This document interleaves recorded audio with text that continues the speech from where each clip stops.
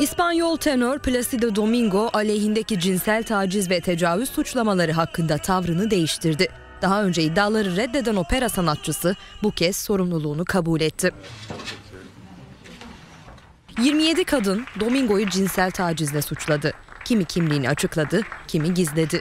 İspanyol tenör uzun süren sessizliğini bozup tüm kadınlardan özür diledi. Son birkaç ayda hakkımdaki suçlamaları derinden düşünme fırsatı buldum. Onları incittiğim için gerçekten üzgün olduğumu bilmelerini istiyorum ve eylemlerimin tüm sorumluluğunu kabul ediyorum dedi. Domingo operayı çalışmak için daha güvenli bir yer haline getirme sözü de verdi. Domingo'ya yöneltilen suçlamalar 90'lı yılları ve 2000'lerin başını kapsıyor. İfade veren kadınlardan ikisi işlerini kaybetme korkusuyla tenörle cinsel ilişkiye girdiklerini söyledi. Kısa süre önce Amerika Birleşik Devletleri'ndeki opera çalışanları sendikası sanatçı hakkında soruşturma başlattı.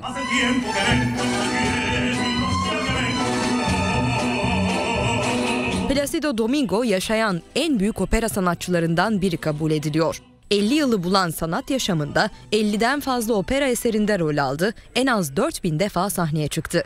İspanyol tenör cinsel taciz iddiaları üzerine Los Angeles Operası'ndan istifa ederek konserlerini iptal etmişti. Domingo, soprano Marta Ornelas'la evli.